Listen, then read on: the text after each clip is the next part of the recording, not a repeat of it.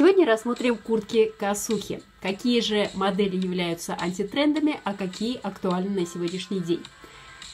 В качестве примера я взяла магазины Marketplace.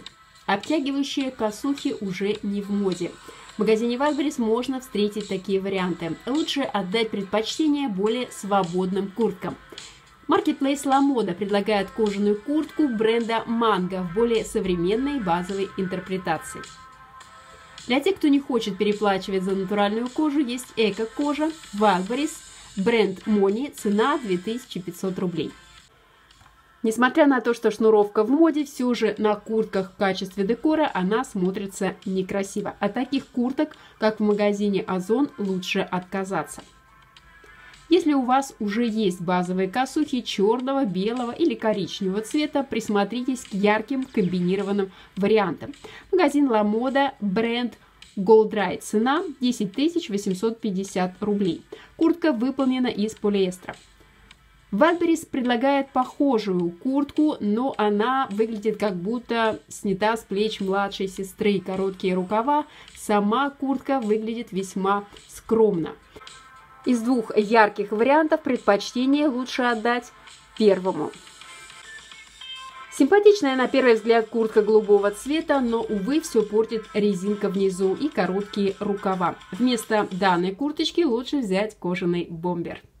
Куртки-косухи с искусственным мехом из эко-кожи смотрятся очень дешево, да и мех здесь несколько неуместен. Данный вариант, что вы видите на фото, продается в магазине Wildberries. Вместо этой модели возьмите лучше дубленку Авиатор. Она актуальна всегда и лучше греет в межсезонье. Молодежные куртки с яркими надписями актуальны не в первый сезон. Найти такие варианты можно на Wildberries и Озон.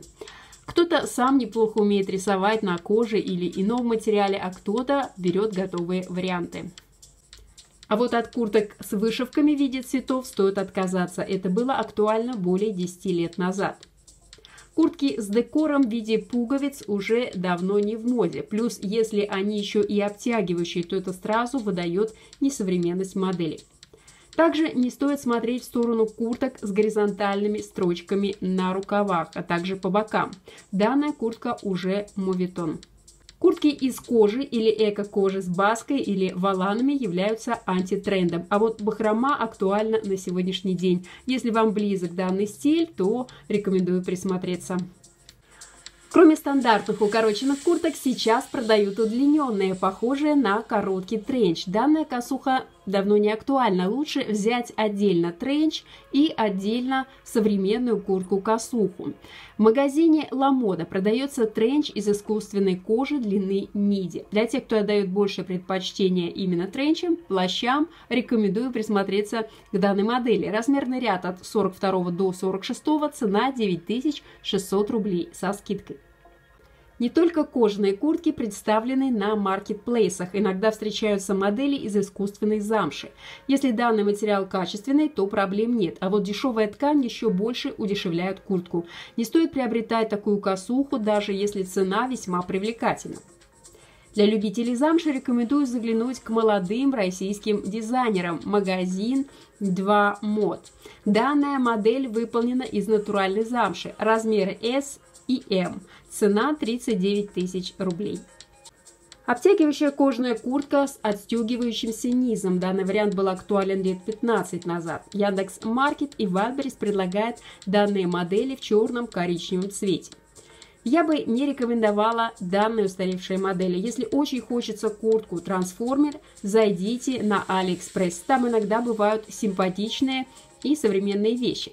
Данная куртка из искусственной кожи Цена 4300 рублей. Многие уже, наверное, знают, что на данном портале вещи часто маломерят, так что учитывайте это при покупке. Есть ли куртка-косуха в вашем гардеробе? Если да, то напишите в комментариях, каким моделям вы отдаете большее предпочтение. Обтягивающие, свободные, с декором или без. Может быть яркие или базового цвета.